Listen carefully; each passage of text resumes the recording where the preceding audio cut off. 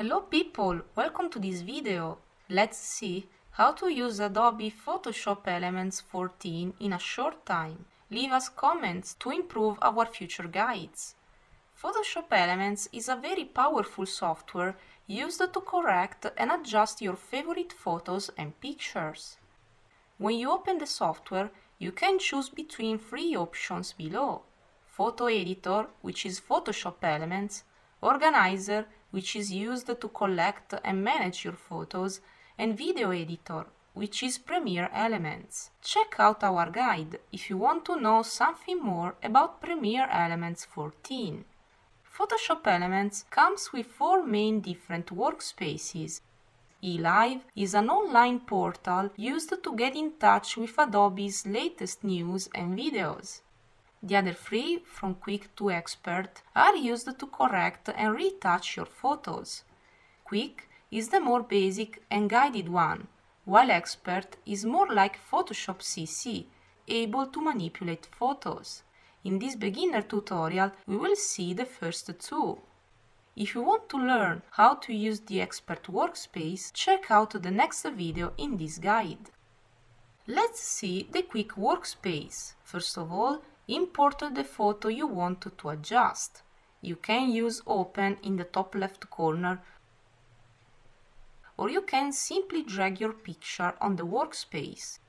All photos imported will be collected at the bottom in the Photo Bin panel. You can show and hide it clicking on Photo Bin at the bottom. In Photoshop Elements, you can edit just one photo per time. Select the photo interested from the Photo Bin panel to open it in your workspace. At the bottom, you have other important tools. Undo and redo are used to undo and redo actions done in case you mistake. Use rotate to rotate the picture by 19 degrees per time. If you click on Organizer, you will open Adobe Organizer. To learn more about Adobe Organizer, check out our video in our channel. To check your photo, zoom in and out, holding Alt down and using your mouse wheel. When the picture is big and you want to check it all, just hold the space down and click and drag to pan. Let's adjust the photo. You have two main ways to do so. You can use the tools on the left and the adjustments on the right. The tools are used to apply quick and basic corrections on the photo. For example, you can use the red eye removal tool to remove red eyes, or whiten teeth to make teeth whiter. If you click on Tool options at the bottom, you can adjust the settings of the current tool used. Some of the tools listed can show a black corner when you hover them. In this case, you will find other similar related tools you can select from the tool options. In order to adjust the photo, you can start with the tools. Use straighten to rotate and align the photo correctly. Then you can use the crop tool to cut parts away from the picture. Just click and drag it to move and scale the cropping area through its black nodes. You can also rotate it by dragging from outside. Then just apply. In case you mistake, you can use the undo button at the bottom. Spot Healing brush is used to remove spots from the image. Just set the correct radius in sides and click on the picture. The second tool included inside is the Healing Brush tool. This is used to correct larger imperfections on the picture. This tool simply pastes pixels of the image on other parts of the same image. Hold Alt down and pick a point on the picture. When you brush, you will simply paste the pixels of the image that are under the cross. If you want to add text, use the Type tool. There are lots of text tools in Tool options in order to type horizontally, vertically, or even along a path. Just click and drag on your picture to define a text area. This will contain your text in full. Type inside and, if you need, adjust the text settings from the tool options. this text will follow its box completely. If you move and rotate the text box, its text inside follows. Mind to make the text box enough big, or the text may spread badly.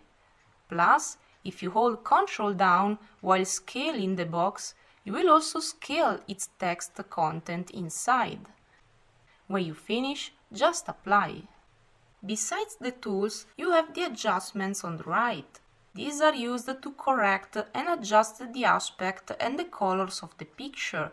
Through ready templates, you can select from the list. First of all, you should adjust lightness and contrast. You can use a Smart Fix or, if you need more, you can use exposure. Lighting is more advanced. Here, you can adjust the brightness of each part of the picture. Shadows are the darkest sides. Midtones are the colors in a mid-light range. And highlights represents the most bright parts of the picture. Then you may need to adjust the colors of the picture. Go to color to adjust the color intensity under saturation, the color itself through hue, and fine all with vibrance.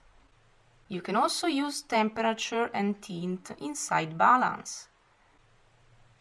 Then, if your picture is a little blurry, you can use sharpen to correct it.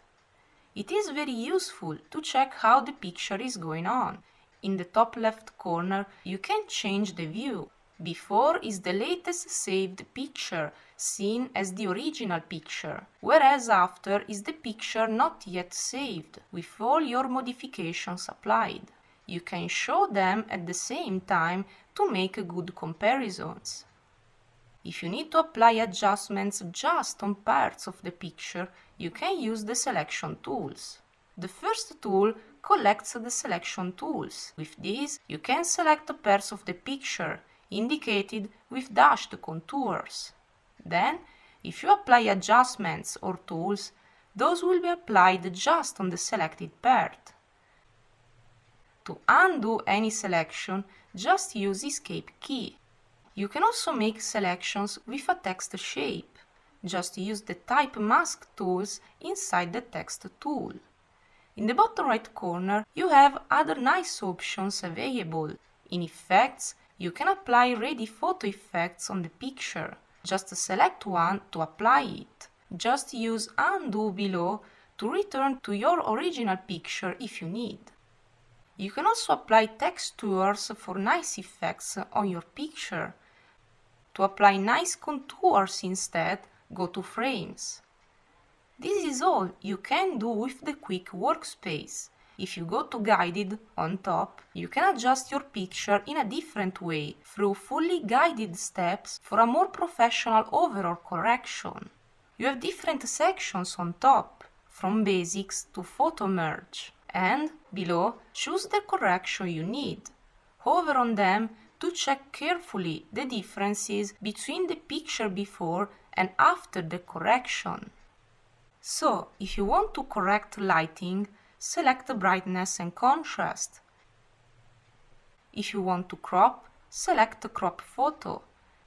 Once you select a correction, just follow each step explained on the right. At the bottom, use Next to apply or use Cancel to undo all. To adjust your picture, start with Basic to adjust rotation, alignment and to crop it. Use brightness and contrast, lighten and darken, and levels to adjust lightness. To adjust color, use skin tone and the corrections under color. To adjust blurriness, use sharpen under basics. The other options lets you add many effects. Check them out. When you finish editing and correcting your picture, save and export it. To save it in your computer, just go to File and then to Save As. Save it as .psd or .jpg. This will save your current picture opened only. If you go to Create in the top right corner, you can make calendars, collages or photo books. If you go to Share, you can share your photo with any of your social sites. Thanks for watching. Check out our guide if you want to know more about Adobe Elements 14.